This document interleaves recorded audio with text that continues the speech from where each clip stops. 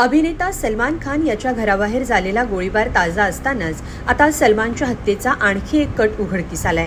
Lawrence Bishnoi टोळीनं पनवेलमध्ये सलमान खानच्या गाडीवर हल्ला करण्याची योजना आखल्याची माहिती समोर आली आहे सलमानच्या वांद्रे इथल्या घराबाहेर करण्यात आलेल्या गोळीबारानंतर त्याच्या सुरक्षेत वाढ करण्यात आली आहे. या प्रकरणी पोलिसांनी आतापर्यंत आठ आरोपींना ताब्यात घेतलंय. त्यातच आता ही आणखी एक योजना समोर आली आहे. सलमान खानच्या गाडीवर हल्ला करण्यासाठी पाकिस्तानच्या शस्त्रास्त्र पुरवठादाराकडून शस्त्रे विकत घेण्याची योजना आखण्यात आली होती.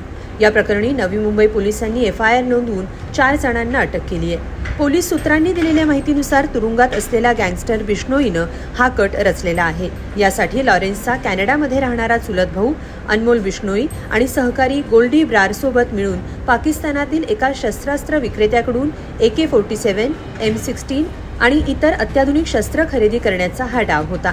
पोलिसांना ही माहिती मिळाल्यानंतर हा कट उघड झाला. सलमानच्या घरावर केलेला आधीचा हल्ला यशस्वी ठरला नसल्यानं हा हल्ला करण्याची योजना आखण्यात आली.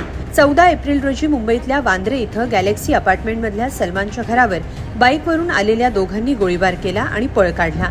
या हल्ल्याची जबाबदारी लॉरेन्स बिश्नोईनं घेतली होती.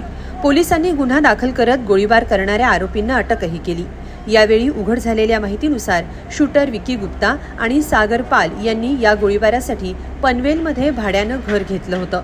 दुचाकी ही खरेदी करत सलमानच्या वांद्रे इथल्या घराची रेकी केली होती. मात्र हा हल्ला अपयशी ठरला. त्यानंतर दुसऱ्या हल्ल्याची योजना आखल्याची माहिती उघड झाली. सलमान खानचं पनवेलमध्ये एक फार्म हाऊस आहे. पोलिसांना खबऱ्यांकडून जी माहिती मिळाली त्यानुसार सलमानच्या पनवेलमधल्या या फार्म हाऊसवर जाताना त्याच्या गाडीवर हा हल्ला करण्याचा प्रयत्न होता.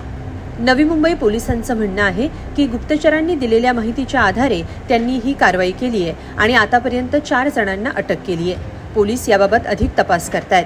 दरम्यान एप्रिलमध्ये केलेल्या गोळीबाराप्रकरणी अटकेत असलेल्या आरोपींपैकी एकानं कोठडीत आत्महत्या केली. अनुज थापनच्या या मृत्यूचा तपास सीआयडीकडे देण्यात आलाय.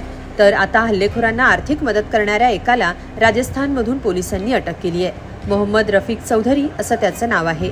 हे सगळं घडत असताना सलमानच्या हत्येचा आणखी एक कट उघड झाल्यानं पोलिसांनी सलमानच्या सुरक्षेत वाढ केली आहे.